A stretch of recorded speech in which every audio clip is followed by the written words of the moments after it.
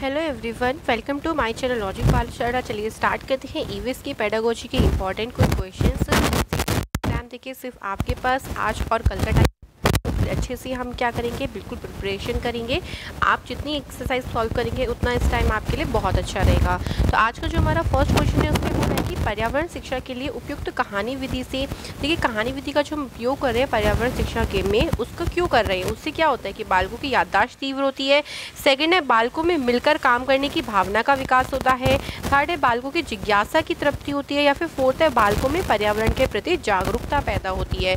तो किस कारण की वजह से हम क्या करते हैं? पर्यावरण में कहानी को शामिल करते हैं। अगर हमें कोई टॉपिक समझाना है तो कहानियों का हम प्रयोग करके उसे समझाने की कोशिश करते हैं। ऐसा क्यों किया जाता है? तो जल्दी अपना आंसर सोचिए। क्योंकि देखिए, इसका मेन उद्देश्य क्या होता है? पर्यावरण का मेन उद्देश्य ये होता है कि बालकों को जो वास्तविक दुनिया है ना, जिसमें वे रहते हैं, उसके साथ ना रूबरू कराना, जो भी हमारे पर्यावरण में हो रहा है, उनके बारे में जानने के लिए हमें उनमें जागरूकता पैदा करनी होती है। और सबसे अच्छा माध्यम क्या होता है बच्चों को? कहानी विधि से। क्योंकि कहानी में क्या होता है, बच्चों को इंटरेस्ट भी आता है, वो बहुत ज़्यादा इंटरेस्ट लेते हैं कहानी सुनने में। और अब कहानी सुनने के माध्यम से ही उन्हें पर्यावरण के बारे में जानकारी दे सकते हो। तो हमारा जो होगा, इसमें फोर्थ वाला ऑप्शन बिल्कुल सही होगा कि हम बालकों में पर्यावरण के प्रति जागरूकता पैदा करने के लिए ही हम एक तो पर्यावरण शिक्षा देते हैं और कहानी विधि से ऐसा करना बहुत ज़्यादा आसान बन जाता है, इसलिए इसका फोर्थ ऑप्शन बिल्कुल सही होगा। सेकंड हमारे पास क्वेश्चन है, पर्यावरण अध्ययन की पाठ्यपुस्तक में पहेलियाँ शामिल करने का निम्नलिखित में से कौन सा उद्देश्य नहीं है? जो वो पहेलियाँ आपको बीच बीच में चैप्टर्स में लिखने को, दिखने को मिल जाती हैं। तो इनमें से देखिए कौन सा नहीं है बताना है मतलब तीन सही होंगे और एक इसमें से गलत होगा। तो फ़र्स्ट हमारा जो ऑप्शन है वो है सृजनात्मक चिंतन की योग्यता और उत्सुकता का विकास करना। सेकेंड है बच्चों में आलोचनात्मक चिंतन शक्ति विकास, विकसित करना। थर्ड है बच्चों में तर्कना शक्ति का विकास करना। फोर्थ है बच्चों के मस्तिष्क को भ्रमित और उन्हें इस भ्रम का आनंद उठाने देना। तो कौन सा उद्देश्य नहीं होगा? तो बिल्कुल ऑप्शन से समझ होंगे। देखिए पहेलियों से क्या होता है कि बालक जो है वो सोचते हैं। तो उनमें चिंतन करने की क्षमता विकास होती है। उनमें बहुत मतलब जितना ज़्यादा वो सोचेंगे उस चीज़ के बारे में, उतना उनका जो थिंकिंग स्किल है वो डेवलप भी होगी, तर्क करने की शक्ति भी डेवलप होगी। इसका मतलब फ़र्स्ट सेकंड और थ्री ये तीनों तो बिल्कुल सही है, क्योंकि तीनों उद्देश्य होते हैं। बट पहेलियों का ये उद्देश्य नहीं होगा था कि हम बच्चों के मस्तिष्क को भ्रमित कर रही हूँ। ये उद्देश्य नहीं होता, इसलिए इसका कौन सा ऑप्शन सही होगा? फोर्थ वाला ऑप्शन बिल्कुल करेक्ट होगा। इसके बाद बढ़ते हैं अपने थर्ड क्वेश्चन की तरफ़। निम्नलिखित में से किन पशुओं में देखने और सुनने की क्षमता सबसे अधिक होती है? चीते, बाज डॉल्फिन या फिर गिद्ध? तो ऐसे कौन से पशु हैं जिनमें सुनने की और देखने की, ठीक है तो किसमें होती है ये बताना है। तो कौन सा कौन सा ऐसा वो पशु है? तो देखिए इसका आंसर जो होगा वो फ़र्स्ट वाला आंसर होगा। चीते में देखने की और सुनने की शक्ति बहुत ज़्यादा होती है। रात में भी वो हमसे छः गुना बेहतर देख सकता है। तो इसलिए हम इसमें क्या लगा के आएँगे? फ़र्स्ट वाला ऑप्शन बिल्कुल सही लगा के आएँगे। इसके बाद बढ़ते हैं फोर्थ क्वेश्चन की तरफ़। फोर्थ क्वेश्चन में बोला है कि कक्षा में डैश गतिविधि से छात्रों में तर्क शक्ति बढ़ती है तथा विषयों को तर्क की कसौटी पर परखने की कौशलता बढ़ती है। तो ऐसी कौन सी गतिविधि है? निर्देशन, प्रश्न पूछना, चार्ट निर्माण या फिर वाद विवाद? तो ऐसी कौन सी गतिविधियों में सोचने की शक्ति बढ़ती है जिसमें ज़्यादा से ज़्यादा वो तर्क कर सकती हूँ? हाँ। तो देखिए कौन सा ऑप्शन होगा? जल्दी सोचिए इसका आंसर देखिए, निर्देशन में तो छात्र नहीं देते, पहली बात तो। निर्देशन में तो शिक्षक उन्हें निर्देश देता है, छात्र उसके पालन करते हैं। प्रश्न पूछने पे भी हम इतनी ज़्यादा, हम अपनी तर्क शक्ति का उपयोग वहाँ नहीं करते, चार्ट निर्माण में भी नहीं किया जाता। बट जो वाद विवाद प्रतियोगिता होती है, जब वाद विवाद कॉम्पिटिशन भी कराए जाते हैं। वाद विवाद प्रतियोगिता में क्या होता है कि बच्चे पहले सूचना दोगे तो बच्चे उसमें क्या करेंगे? पहले उसके बारे में क्या करेंगे? पूरी इन्फॉर्मेशन को कलेक्ट करेंगे। फिर कोई उसके अगेंस्ट में बोलेगा, कोई उसके विपक्ष में बोलेगा तो क्या होंगे, एक दूसरे की चीज़ों को ना सब ऐसे इस तरीके को अपने आप को बताएँगे। जितना ज़्यादा आप उस टॉपिक के बारे में सर्च करके लिखाओगे तो उसमें क्या होगा, आपकी तर्क शक्ति का यूज़ होगा बहुत ज़्यादा। तो कौन सी प्रतियोगिता होगी? ऐसी वाद विवाद प्रतियोगिता होती है। इसके बाद आते हैं फिफ्थ क्वेश्चन में जो बोला है कि भारत में पाए जाने वाला वह जानवर जो पहले तो प्रचुर मात्रा में था, पर अब विलुप्त की कगार पर आ गए। विलुप्ति का मतलब है कि अब वो बचा ही नहीं है, बहुत कम देखने को मिलेगा। तो कौन सा ऐसा वो जानवर है? शेर की दुम वाला मैकाऊ, हिमालय, ताहर, एशियाई चीता या हुलॉक गिब्बन तो ऐसा कौन सा पशु है जो अब बिल्कुल विलुप्त होता जा रहा है? अब आपको देखने को बिल्कुल मिलेगा ही नहीं। ऐसा पशु का नाम बताना है। तो जल्दी सोचिए, क्या इसके लिए हम आंसर लगा के आएँगे? हमको ऐसा कौन सा पशु है? तो देखिए, जो इसका आंसर रहेगा, वो हमारा थर्ड वाला आंसर सही होगा, एशियाई चीता। जो एशियाई चीता है ना, वो अब विलुप्ति की कगार पर आ गया है। ये विलुप्ति का मतलब क्या होता है पौधे भी विलुप्ति की कगार पर आते हैं तो पौधे और जंतुओं की ऐसी प्रजाति को विलुप्त कहा जाता है, जो अपने क्षेत्र में पूर्णतः खत्म सी हो गई है।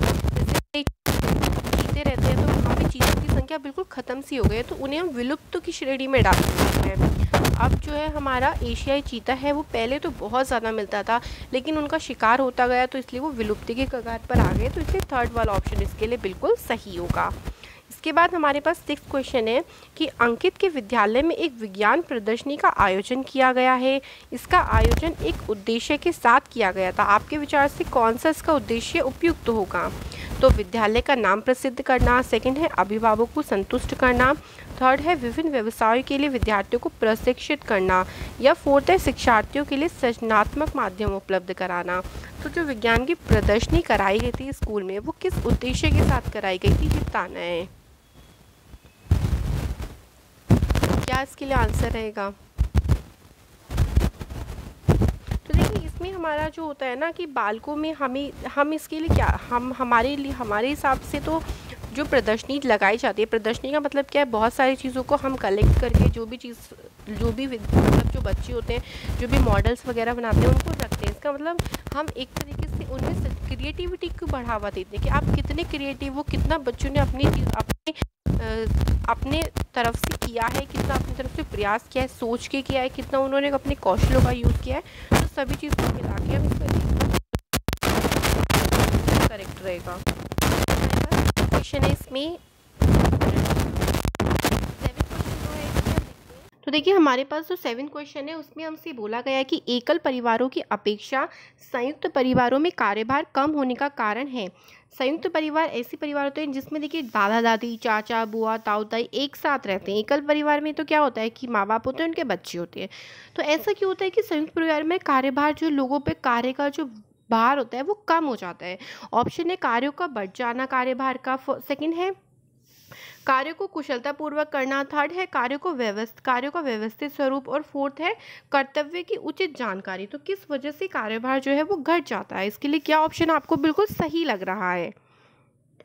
तो देखिए, संयुक्त तो परिवार में क्या होता है कि बहुत सारे लोग होते हैं तो क्या होता है ना, सब में हम कार्यों का बंटवारा हो जाता है। सब अपने अपने हिसाब से कार्य कर लेते हैं तो इसलिए संयुक्त तो परिवार में जो होता है, कार्यभार कम होता है। तो ऑप्शन क्या लगा के आएँगे?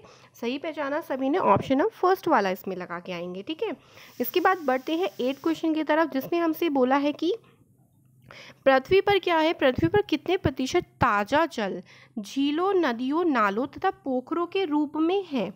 तो हमारे पास इसमें ऑप्शन है zero point three six percent zero point two sorry two two point four percent seventy two point two percent या एटी परसेंट तो कितना प्रतिशत जल जो है वो झीलों, नदियों और पोखरों में ताज़ा जल है? देखिए, जल तो हमारे पृथ्वी पे जो है वो seventy two seventy two percent जल है बट हमें यहाँ पे बताना है कि कितना परसेंट जल ताज़ा जल है, जो पीने योग्य होता है, ऐसा जल। तो कितने परसेंट बचा ये बताना है?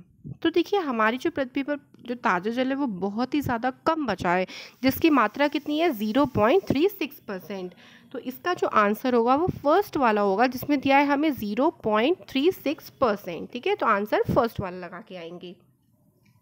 इसके बाद हमारे पास नाइन्थ क्वेश्चन है कि जल की अस्थायी कठोरता को किस प्रकार से दूर किया जा सकता है?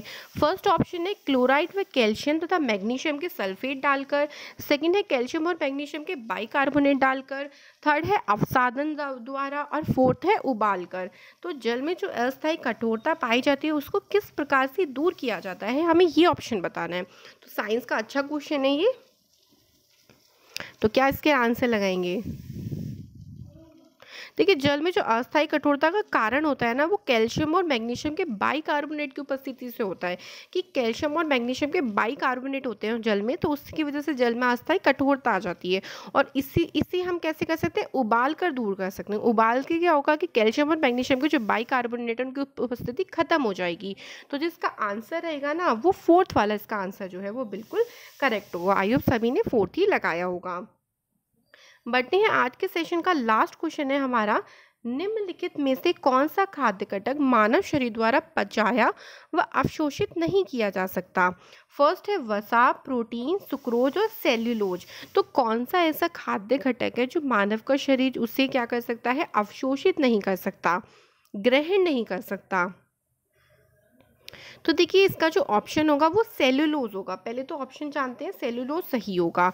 क्यों? इसमें सेलुलोज है, देखिए सेलुलोज जो होता है ना, वो होता है, एक जटिल कार्बोहाइड्रेट होता है सेलुलोज जो ग्लूकोज से मिलके बना होता है। किससे बना होता है? याद रखिएगा सेलुको सेलुलोज जो होता है ना, वो ग्लूकोज के अणुओं से मिलकर बना होता है और इससे मानव के शरीर द्वारा पचाया नहीं जा सकता क्योंकि जो सेलुलोज को पचाने वाले एंजाइम होते हैं ना, जिन्हें हम सेल्यूलेस कहते हैं, क्या कहते हैं? मैं आपको बता देती हूँ, जो एक एंजाइम होते हैं, जिन्हें हम क्या कहते हैं? सेल्यू लेस कहते हैं, वो मानव के शरीर में नहीं पाए जाते क्योंकि जो भी आपके पास प्रोटीन होगा, जो भी उसको पचाने के लिए एंजाइम तो होनी चाहिए ना आपकी बॉडी में तो जो सेल्यूलोज को पचाने वाला एंजाइम होता है सेल्यूलेस वो हमारी बॉडी में नहीं होता है, इसलिए हम क्या कर सकते हैं, इसे नहीं पचा सकते। तो आप याद रहेगा, कौन सा मानव शरीर नहीं पचा सकता? सेल्यूलोज हमारे मानव शरीर नहीं पचा सकता।